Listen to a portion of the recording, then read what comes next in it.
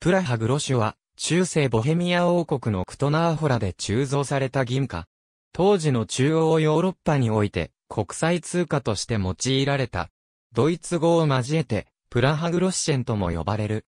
直径 27mm 前後。当初の重さは3.5から 3.7g 程度。純度は933パーミルと非常に高品位な銀貨であった。補助単位は、ラテン語で小さいものを意味するパルブスで、12パルブスが1グロシュである。時代による衣装の変更はほとんどなかった。銀貨の表面には、ボヘミア王の王冠が描かれており、その周囲を国王のラテン語名、さらにその外周をデイ・グレーシ・アレックス・ボエミエの文字が囲んでいた。裏側にはライオンがデザインされ、さらにグロッシ・プラグンシズと書かれていた。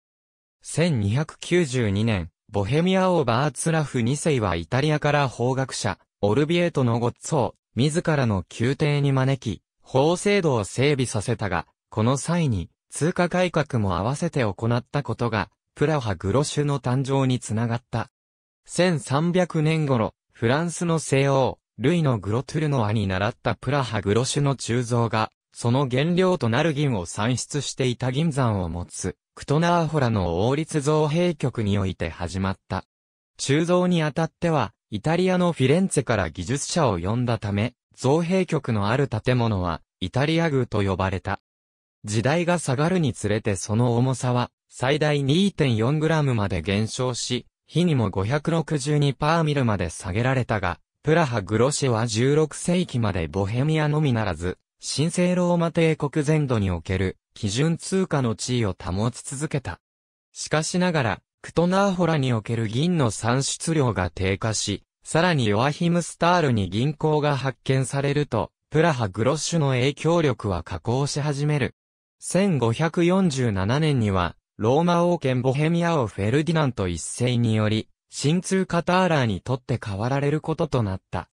1644年、ローマ皇帝フェルディナント三世の命を受け、また、クトナーホラの鉱脈が枯渇したことも、相まって、鋳造は停止となり、プラハ・グロシュはその歴史に幕を下ろした。トゥールで鋳造された、グロカのイ。13世紀のフランスで流通した銀貨である。FR、グロトルノアを参照。